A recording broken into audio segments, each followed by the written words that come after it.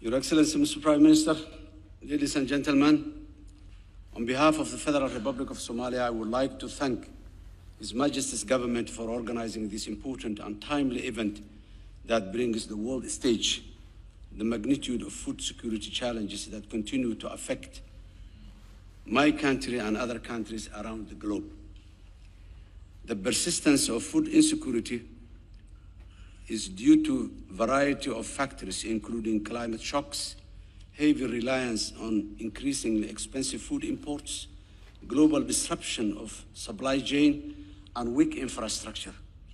In Somalia, we are ambitious in our goals and we are developing sound policy solutions across the multifaceted areas, beginning with peace and security. Since June 2022, Somali National Army has been able to partner with the local forces and the global partners in an unprecedented offensive that has recovered from more than 70 towns and villages from Al Shabaab in the southern and the central federal member states of Somalia. These newly recovered areas are home to some of the richest farming lands in the country.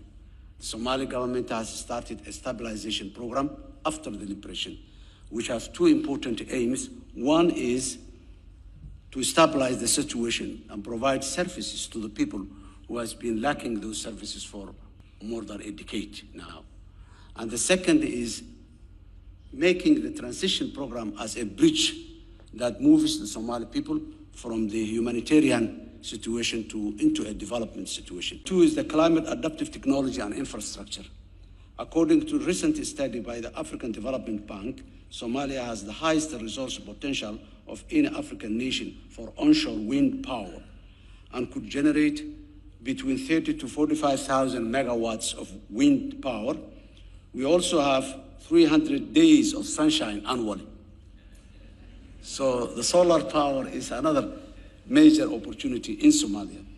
With sufficient financing, we can invest in climate resilient infrastructure in critical sectors such as the renewable energy, water catchment systems, regenerative agricultural practices, and feeder roads within the agricultural uh, land. Number three, the financial inclusion. Access to finance is a key, and we are also working on making affordable loans accessible to the agricultural sector to encourage further investment in the local production, allowing Somalia to access greater market from the Atlantic Ocean to the Indian Ocean. In conclusion, to mitigate the potential for a famine in Somalia, the international community, especially the United States, the United Kingdom, the European Union, and many more partners, among which is the United Arab Emirates, have provided a huge amount of resources to avert the famine in Somalia. As rightly His, His Excellency, the Prime Minister said, Somalia was on, the brink of famine when we came to the office last year. And with these supports and the organization my government did, we are positive. However, given the current climate changes, we know that without similar levels of investments that can keep agropastoral communities intact, health, and able to sustain themselves economically, we will continue to witness food insecurity and human suffering that entails for generations. The larger scale investment in energy system and transport infrastructure will require funds for multilateral and bilateral financing institutions, and Somalia has developed the necessary institutions to work with and the necessary leg legislations and acts to help.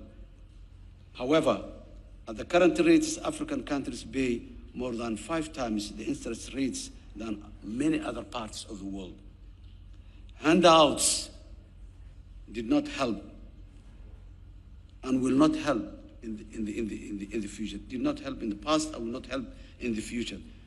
But financing at a fair rates in the economic uplifting of the people is what helps a lot.